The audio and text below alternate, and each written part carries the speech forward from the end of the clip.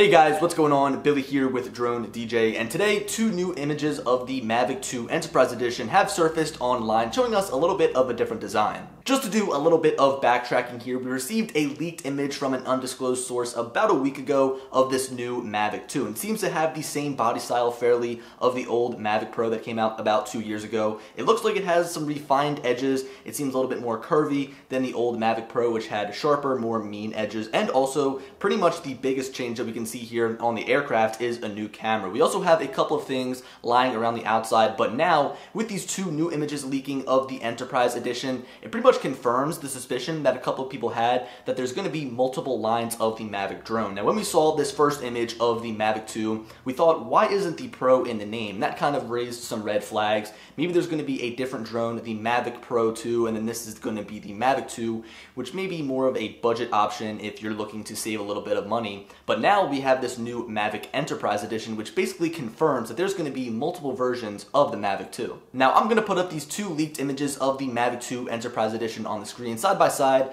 so we can do a little bit of analyzation. Now, of course, the body style seems to be the same. It's got that same gray color, but the one biggest difference is obviously the payloads that are sitting on the front of this new drone. On the left, it looks like we have some sort of loudspeaker payload system, while on the right, that seems to be an LED beacon. At least that's what someone actually suggested over on the article we wrote on Drone DJ. Someone commented that down below. Now, I noticed that the red bands around the arms are different than the silver bands on just the Mavic 2, so maybe the gold will reference a professional, and if we look in the back of the picture, I don't want to get too caught up on this, but there's a mysterious black drone in the back that has some gold accents, and that could be the Mavic Pro 2, but again, I don't want to get too ahead of ourselves, because this drone seems to give us a lot of new information. A question that I have to pose about this new new design with the payload on the front is weight distribution. Now we have this big loudspeaker on the front and also we have the gimbal camera payload underneath. So I'm just wondering how DJI is going to compensate for all that weight on the front